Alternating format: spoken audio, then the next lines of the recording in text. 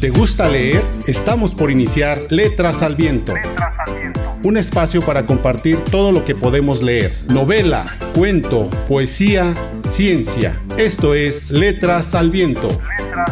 Iniciamos. Y seguimos en este maravilloso recinto del Congreso, que antes era el Congreso del Estado, ahora Palacio de los Poderes. Estamos en la sala del Pleno, como usted podrá ver. Aquí antes sesionaban los legisladores guanajuatenses, pero ahora estamos aquí con Imanol Canalleda, que precisamente es el padrino de esta generación que sale del Fondo de las Letras Guanajuatenses y además tutor de cuento, ¿verdad? Es un escritor maravilloso, Imanol. Muchísimas gracias por aceptar esta entrevista. Al contrario, gracias a ustedes. Un placer estar aquí. ¿Qué ha significado para ti participar en toda esta preparación, esta profesionalización de estos escritores guanajuatenses? La verdad ha sido una, experiencia maravillosa, yo no la había tenido. Eh, por lo menos no de este, no de este calibre, ¿no? de, este, de este aliento. ¿no? Pues estuvimos trabajando seis meses. Yo estuve trabajando con 16 eh, escritores en formación durante seis meses y ha sido una experiencia eh, única, de la que terminé enormemente satisfecho satisfecho por ellos y ellas porque el compromiso que mostraron, la entrega, la pasión por la literatura que mostraron, a mí me alimentó muchísimo, yo aprendí muchísimo, espero que ellos también, pero yo aprendí mucho como, como persona, como, como escritor. Y además me parece que es un programa único en la República, no conozco yo que otras eh, instituciones culturales estén trabajando con este esquema, ¿no? Este esquema tan eh, tan serio, tan, tan pensado para, para que quienes participan salgan con un proyecto ya más o menos terminado o bastante terminado, pulido y sobre todo la segunda parte, ¿no? la oferta que hace el Instituto de Cultura de la posibilidad de publicar. Entonces, bueno, yo pienso, cuando yo me iniciaba como escritor, hace muchos años, haber tenido una oportunidad así, digo, wow, ¿no? Este, la oportunidad de estar con escritores ya con trayectoria que pueden aconsejarte, que pueden guiarte, y luego además con la, con la posibilidad de, publicar, este, no sé, me parece que es un programa muy completo y, y creo que quienes participan, por lo menos en la experiencia que yo tuve, fue, fue fantástica porque sí honraron ¿no? el espíritu del, del programa. ¿Tú cómo ves actualmente la labor del escritor? Estamos saliendo ya, espero yo, de esta pandemia que ha cambiado pues el panorama mundial. ¿Cómo nos podrías decir que se encuentra, o tú cómo sientes que se encuentra el mundo del escritor ante esta situación? Bueno, yo creo que el, mundo del escritor el, tema es que el, hecho de escribir, el acto de escribir, sigue siendo un acto bastante solitario e individual. Entonces, esto es, eso es un aspecto, ¿no? El trabajo que tú haces en tu casa, las horas que inviertes, eh, el aprendizaje continuo, las lecturas, y esto sigue, sí, sigue siendo un, acto muy individual. Pero obviamente una vez que el escritor termina con su proyecto, este proyecto tiene que, la idea es que salga al mundo, ¿no? Esta es un poco la aspiración. Y ahí es donde estamos viviendo épocas difíciles, ¿no? Eh, la pandemia sí ha golpeado la industria editorial en todo el mundo, en México especialmente. Eh, esquemas y formas de difundir el libro, por ejemplo, las ferias del libro, las presentaciones, todo esto que se, se han visto eh, comprometidas por el tema de la pandemia y se tuvo que buscar alternativas en la virtualidad, etc. Em, todo esto está ahí, pero también pienso que me parece que tendríamos que poner el acento en esto.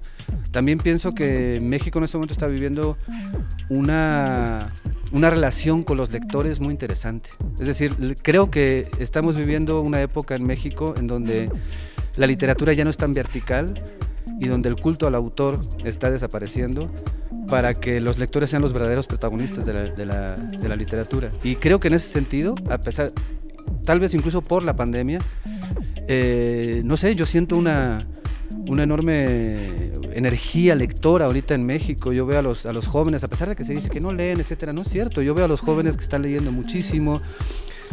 Lo que sí es que han cambiado las, los vehículos para entrar en contacto con la literatura. Y esto nos cuesta, ¿no? sobre todo a los de mi generación, nos cuesta, nos resistimos a entender que las, los espacios donde se compartía, donde se recomendaba la literatura, donde se, se decía qué autor, qué, no autor, etcétera, han quedado un poco obsoletos ante las nuevas tecnologías, ante la virtualidad.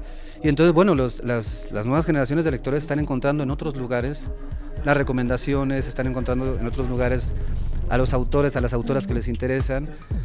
De, manera que creo que se está democratizando eh, la literatura. Y esto a mí me parece muy interesante, ¿no? Algo, bueno, es una noticia muy buena, porque sí, verdaderamente se tiene la idea de que no leemos en México, de que, bueno, pues la cantidad de libros que nos damos el gusto de disfrutar durante un año, pues son muy pocos, a veces llegaba uno solamente, ¿no? Y qué bueno que ahora las nuevas tecnologías se estén acercando, sobre todo a los jóvenes, a la literatura, ¿no? A la literatura, al conocimiento, porque libros hay sin fin. Y sobre esto, hablando contigo, ¿cuál es tu próximo proyecto? Pues bueno, ahorita estoy trabajando en una novela eh, que está atravesada un poco por por una situación que a mí me parece trágica en México en este momento que tiene que ver con las industrias extractivistas y la defensa del territorio.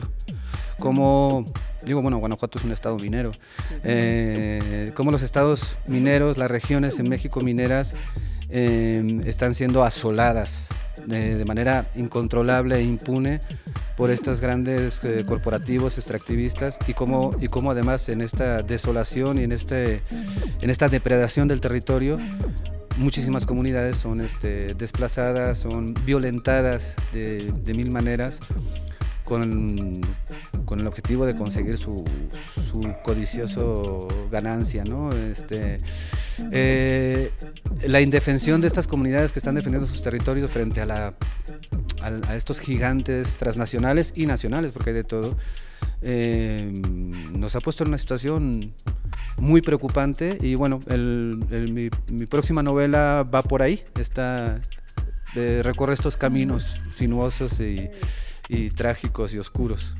Hoy es buena noticia, porque precisamente hablando de ello fuera del aire, decíamos que el arte finalmente es una expresión, ¿no? Expresamos lo que sentimos, expresamos lo que vivimos. Sí, yo sí creo que en el caso, por ejemplo, de la literatura, yo sí creo que las autoras y los autores tenemos que estar conectados con nuestro tiempo.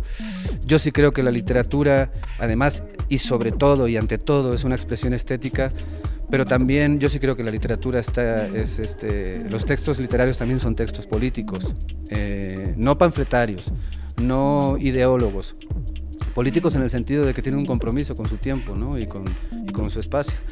Entonces, me parece muy interesante que en este momento en México también algo que está sucediendo en los últimos años es que la, eh, siento que está, está habiendo un, resurgimiento de una literatura muy comprometida con, su tiempo, eh, una literatura politizada en el buen sentido de la palabra, porque se ha desprestigiado la, palabra política. ¿no? Eh, lo que están haciendo las autoras ¿no? con con su condición de mujer, con, con, las violencias machistas a través de la literatura, las denuncias sistemáticas, etcétera. Me parece que son buenas noticias, ¿no? Porque, porque estamos, eh, tenemos una literatura en este momento en México muy viva, muy conectada con el presente, muy conectada con, con las angustias de nuestro tiempo, con las presiones, con las oscuridades de nuestro tiempo. Y la literatura siempre ha servido para arrojar luz, ¿no? A la, a la oscuridad y para resignificar la realidad, etcétera. Entonces, creo que también son buenas noticias en ese sentido. Claro que sí, claro que lo son. Pues yo te agradezco mucho, Immanuel Canalleda, que nos hayas dado la oportunidad de charlar contigo, de tener estas buenas noticias de tu próxima novela, que ya estaremos pendientes, esperemos que sea pronto. Sé que son proyectos pues muy grandes, ¿no? Pero ojalá que sí. Sí, no, al contrario, gracias a ustedes por el espacio y, pues, y gracias a ustedes por, por esta oportunidad de estar aquí en esta ciudad maravillosa. Este, y sí, muy pronto, a finales de año es probable que ya, ya vea la luz la novela. Ya está muy avanzado el proyecto. Muy bien, pues felicidades. Gracias. Seguimos, recuerde que estamos en Letras al Viento. Gracias por acompañarnos en este encuentro con la lectura. Te esperamos el próximo sábado a la una de la tarde, solo aquí por Radio Cristo Rey.